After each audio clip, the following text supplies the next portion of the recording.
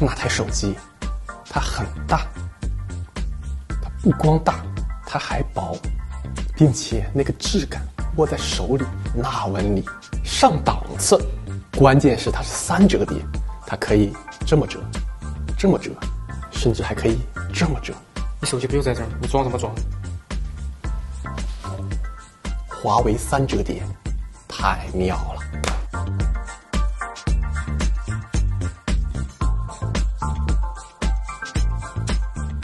好，大家好，欢迎收看本期小白测评。前面我们对这台华为 Mate X-T 非凡大师做了一个非常详细的开箱啊，看过的小伙伴可以扣波一。本期啊，我们好好用了一段时间啊，全面测评这台奏折机到底表现怎么样。播个天小白测评，来开始。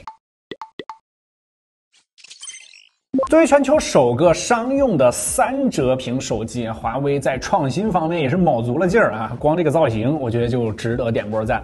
外观方面呢，依旧是非凡大师非常经典的这个设计啊，这个八角星钻啊，这个镜头模组。我们手上这台呢是瑞红色的版本，整个配色还是非常大气的啊！如果要是女生小伙伴拿着，我靠，全场焦点。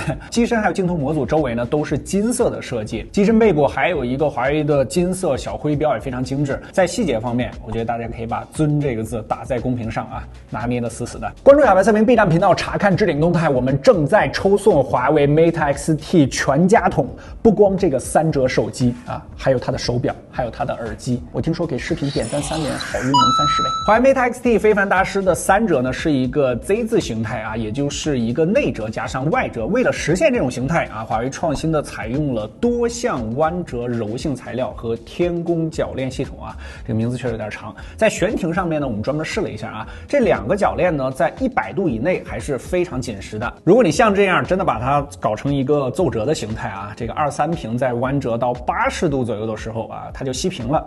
我这奏折批阅起来就不太方便了啊。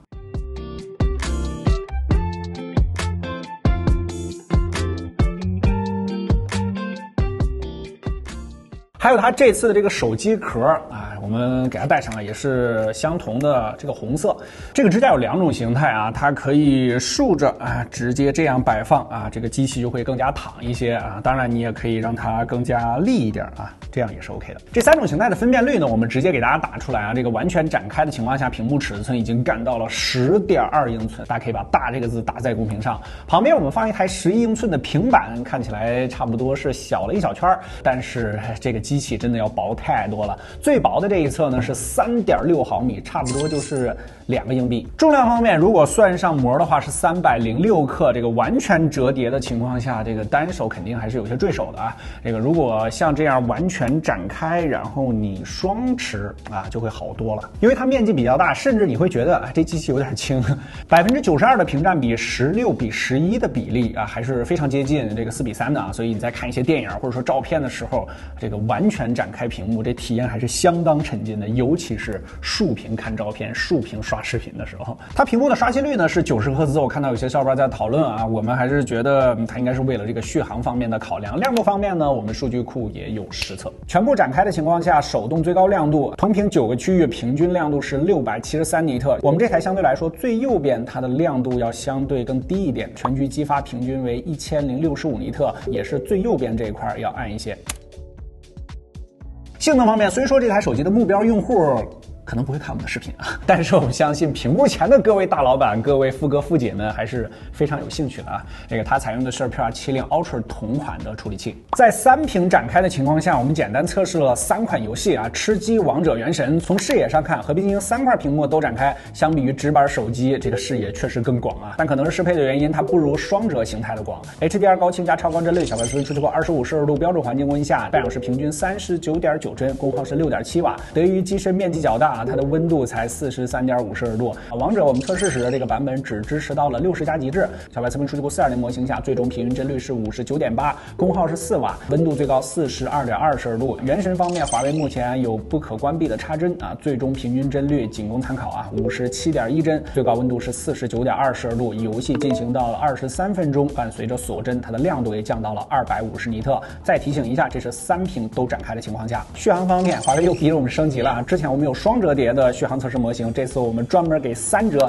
也定制了一个小白测评数据库的模型，相对压力呢没有那么高，因为更多的是商务场景，包含了日常办公、视频录制、信息流、娱乐、影音等多个方面。我们专门拿了一台 Mate X5 做对比，不过这两台手机的最高刷新率存在一定区别，提醒注意。小白测评三折，三小时轻度续航测试啊，二十五摄氏度环境温下开启 WiFi，轻度办公一个小时，三折电量剩余百分之九十，双折剩余百分之八十九。接下来幺零八零 P 六十的录制，某宝、某东分屏比价，两者剩余电量也是相差百分之一。刷完微博头条，三小时结束，最终三折剩的还更多一些啊，这个剩余百分之五十一。最后的娱乐影音，我们关闭 WiFi，使用移动数据进行测试，而且我们支持了最新的通信制式通信技术。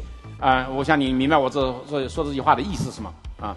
就不显示什么姿势的时候，就是那最新的姿势。最终，华为 Mate X5 这个双折五小时十九分钟关机，这个三折在完全展开的情况下，它竟然坚持了六个小时啊！得益于处理器的升级和电池容量的提升，在非重度场景下，这三折的续航表现确实还挺不错。充电方面，六十六瓦有线，在完全展开的情况下，长按屏幕启动 Turbo 充电，数据库二十五摄氏度环境温下五分钟充入百分之十六，半小时充入百分之七十四，短时回血速度还是可以的。最终八十二分钟前台充满，一百分钟涓流结束，完全充满五千六六百毫安时的电池。这个成绩满分十分，你给几分？影像方面，其实这次是比较意外的，它堆料还是非常猛的，十级可变光圈，五点五倍的潜望长焦，主摄光学防抖都给你安排上了。具体表现如何？咱们实拍过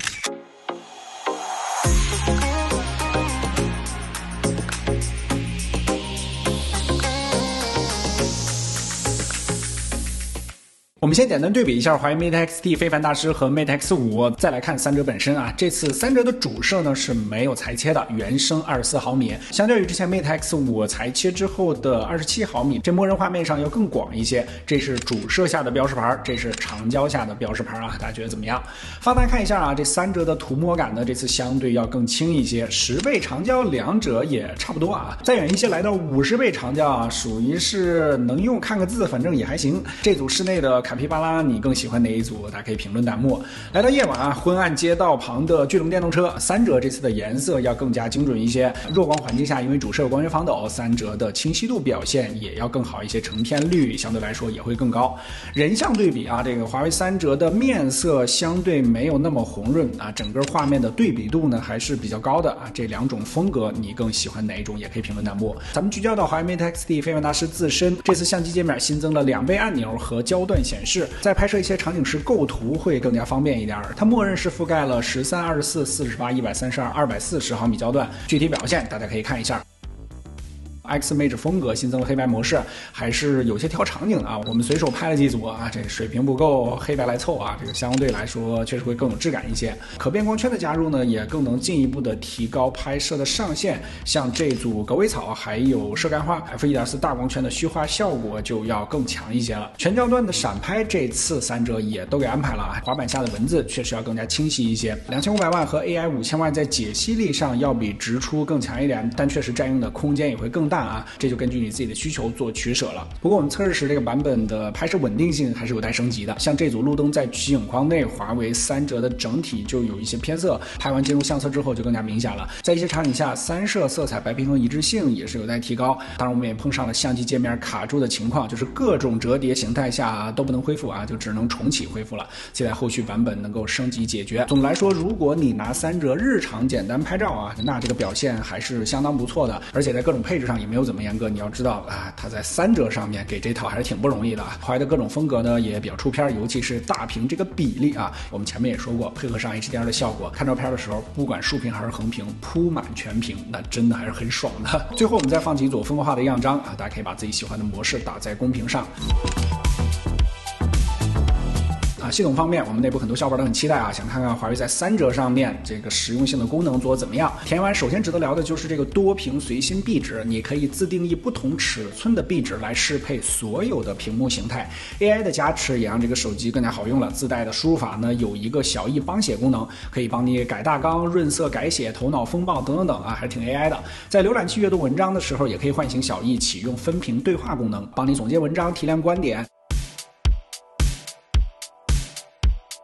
相册的 AI 消除，咱们以前就聊过，也挺实用的，并且消除之后照片的 HDR 信息并没有损坏，这一点很值得点赞。像屏幕前正在看视频的各位大老板经常用的 Win 的金融终端啊，这个各种比例也都做了适配啊，这选起股票来得心应手。啊，手机完全展开下应用分屏，当前版本支持一比一、一比二、二比一三种比例。啊，一边在 B 站看高数，一边做课堂笔记，还是挺方便的。当然，还是因为我们体验这个版本可能有点早啊，还有一些体验是有待优化的。合上是手机，展开是平板。那在系统上，理论最优解也是这样啊。不过我们实际体用下来，感觉当前版本下这个三折系统，它更像是一个双折的延伸啊，就是还是手机感比较重的啊。华为平板的通知栏是处在中心，完全铺满屏幕的，而三折这边呢，完全展开下这通知栏只占用了左边，这屏幕的利用率目前并不高。平板的小窗可以自定义调节比例，但是目前三折还是不可以的。当然还有一些软件，比如说某手啊、某东啊，他们都针对平板专门做了适配，可以完全铺满屏幕。但是目前三折形态下啊，这俩应用只能竖屏显示。某东还好啊，可以在设置里面打开平行世界来强制横屏。呃，某手的话，当前系统版本是不支持的。后来其实也想到了适配的问题啊，这在设置里面有一个专门为三折做软件适配的功能，叫应用显示比例。这个功能应该是从双折上移植的啊。这文字描述我感觉还有些问题啊。双折手机可以调整内屏，也就是双屏形态下的应用比例。三折手机系统竟然变成了可以调节单屏形态的应用比例，这明显应该是个文字错误啊。我们测试了一下，这个单屏调节其实只能调节双屏下的屏幕比例，三屏其实并没有做适配。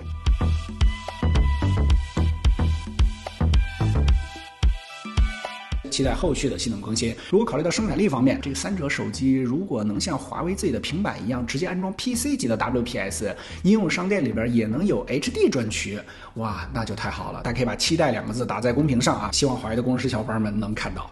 OK，这台华为 Mate X-T 非反应大师满分十分，你给几分呢？欢迎大家评论弹幕啊！这给我们的感觉诚意还是非常足的，尤其是创新能力，让我们直观的感受到了这个科技产品它确实不应该原地踏步啊，而应该是一路往前的。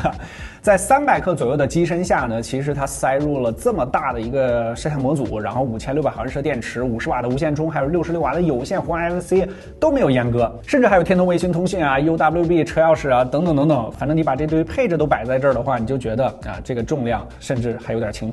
至此，华为的折叠屏系列和产品线就进一步完善了，这个小折、内折、外折三折它全都有了。超高端的产品线呢，也算是不齐了。之前的这个价位段，我不知道各位富哥富姐们有没有了解过啊？这个两万以上啊，不对啊，或者说是五万以上啊，现在啊，基本上都是微图啊，或者说八八四八呀这种手机。现在多了华为三折啊，相对来说市场的认可度呢肯定是更高的，产品力还有系统体验方面呢也都很不错。各位大老板们又多了一个选择啊，我说的就是你啊。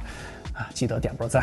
以前都宣传双折呢是手机加平板的组合体，但是因为双折的比例要更加接近一个正方形嘛，在体验上和平板肯定还是有一些差距的。现在这个三折完全展开，真的就和平板差不多了，甚至比平板还要轻，还要薄，比它的功能还要多啊，能折叠放进口袋。现在很多小伙伴觉得它的价格确实比较贵，但是等到后续技术成熟、产品迭代之后，华为毕竟给开了一个头，相信市场会更加广阔。这些最后还是想忍不住再说一遍，我们上手。视频一位小伙伴的评论啊，科技可以走弯路，科技可以走错路，但是科技不能原地踏步。OK，如果觉得本期片子对你产生了一点帮助，记得下方给我们点个赞，就是对我们最大的支持和肯定了。不管你点好吧，这边我们下期视频再见，拜拜。